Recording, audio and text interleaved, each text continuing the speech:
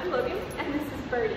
She's a five-month-old standard poodle, and she just joined me for the two-week board and train with Off-Leash K9. Right now, our main focuses are to not have her nipping at her kids, jumping at her kids. I'm going to insert a couple clips so you can see those as well.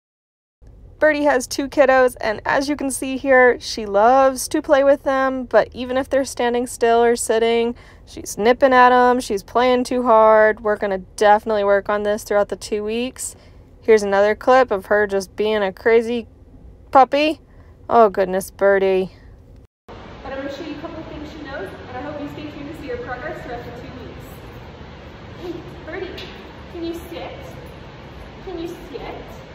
Yeah, your mommy told me you know how to sit. Your mommy told me you know how to sit. Hey, sit. Can you sit?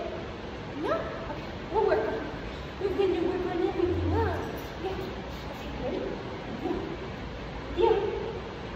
Oh, silly goose. Hey, Birdie, can you place?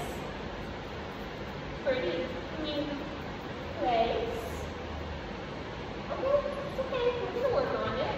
What about heel? Heel? Heel? Okay. We're gonna work on it, huh?